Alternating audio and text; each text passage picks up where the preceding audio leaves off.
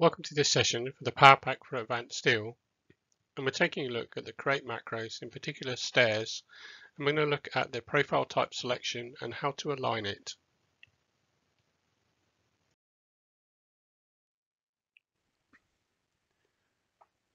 So we're in Advance Steel and we're taking a look at the PowerPack from Graitec, in particular at staircases and we're looking at the stringer element here.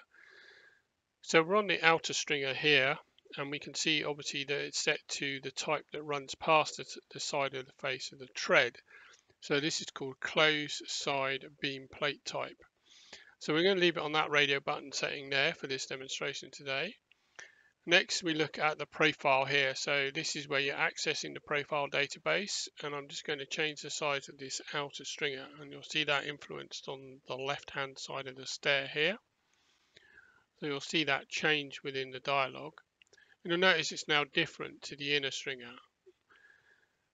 That's because they're not set to be identical. I can make them identical, so force them to be the same. So they will be basically a copy of each other. So the outer element is controlling what's happening to the inner element now. So the next bit to look at is to look at the positioning. So we're going to talk about the basic positioning. So at the moment it's set to top. If we change it to center, it will actually move the stringer body relative to the tread body. And by that, it will alter its position and place it equally spaced between the tread and the two outer stringer faces, front and rear. If we just put it back to top for this example now, we can see that it's going to change the figure. Now the offset field top depth will become available so normally to see what's going on or where it's being controlled from, if you put that to zero in here, you'll see that the top edge of this stringer will actually drop back to be aligned with the toe stroke nosing line of the stair. Now similarly, you can influence it again on the bottom edge with the opposing field then becoming active. So the top field will become inactive and this field will become active. So again, if you type zero in here, you will be able to see the underside edge align to the heel stroke back of the tread. So we can see it there.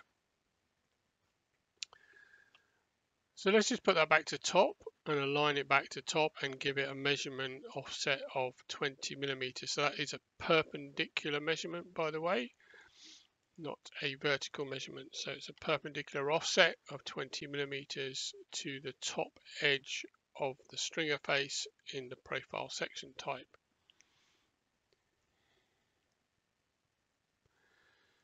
So the other element to look at is obviously relative to landing panel, which is here.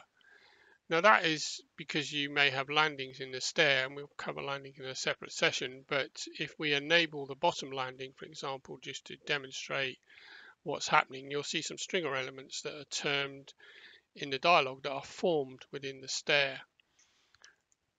So you can see that those those stringer elements like this one and these opposing ones here are now present within the stair macro. So if we just pop back to that dialog there, we can obviously see that presently it's set to input. If we change it to top, it will make a difference here. So we just wait for that to update. And we can see it drops down flush. So achieve, to achieve the same offset value, you have to change it to input.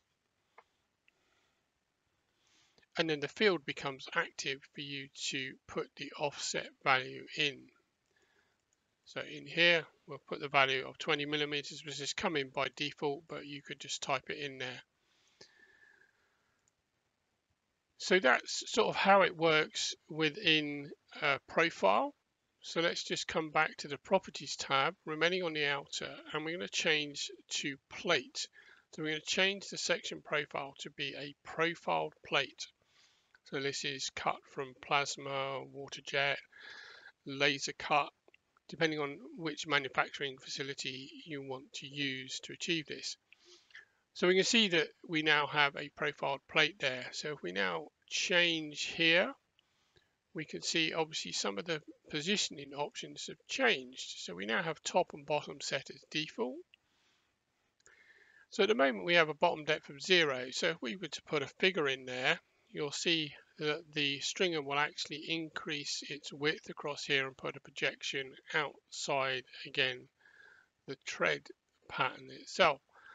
And it's obviously influencing the total plate width here. Now what you can do is obviously bias to the top again. So if we bias to the top in this instance, and what I'm actually going to do is force a change again just so that you can see this happening. So if I put the zero in here, you'll see that the bottom depth offset figure will increase. and that's obviously increased to 40 millimeters. The total plate width has stayed the same at the moment. I'm going to come back to that slightly in a minute.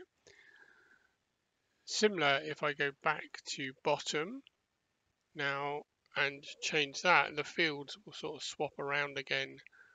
So now at the moment we have an offset of 40 millimeters. So if we change that to zero there, it will work from the heel part of the tread or the rear underside and you'll see the stringer move forward.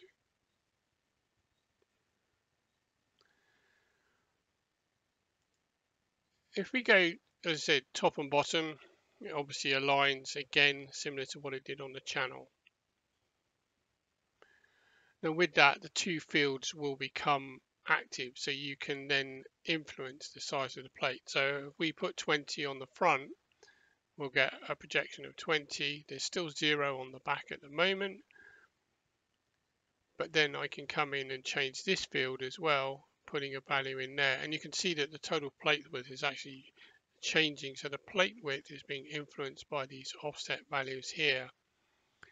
Now in this instance with top and bottom, it's these two cells that alter the total plate width. But if you wanted to control the total plate width yourself, in other words, make it a known figure, you can actually do that by changing it to top or bottom. You'll see that the total plate width field becomes available and you can round this size up to a more recognized size. So in my case, I'm rounding up to 250 millimeters. And that will increase the depth of the stringer on the rear portion of the tread.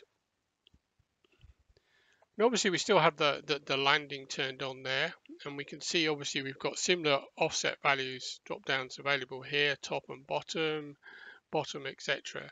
So this the bottom would work from the underside of the tread and obviously the top is working off the top face. So what we could do in here is set to the same setting here. So let's set to top. And we now see that the fields active will change. So what I'm going to do in here, so if I put that to zero, we'll see it drop down to the landing panel. So the plate that forms the landing panel is going to drop down and be flush to that. It's obviously going to change its relative position.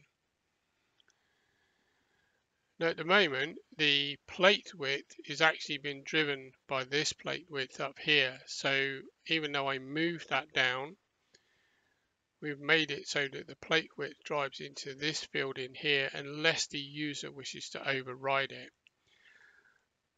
So let's put a 20 millimeter figure in there to lift the edge of the stringer face up under the plate type. So we're going to lift it back up for 20 millimeters inside and out. Remember, it's obviously identical stringers, so they're linked together. I'm going to come in and activate this checkbox in here and this will activate the total plate width field below.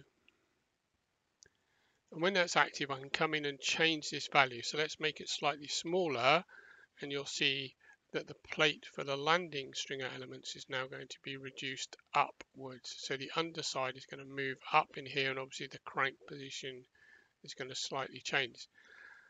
So obviously I made a slight typo there, so let's just put that in again. So it didn't break the macro, which is a good thing. So I'm just going to put that back in. So now you can see, so, so you're influencing what's going on in there. If you don't have that, it will follow this depth in here. So let's uncheck that and we'll see that change back again.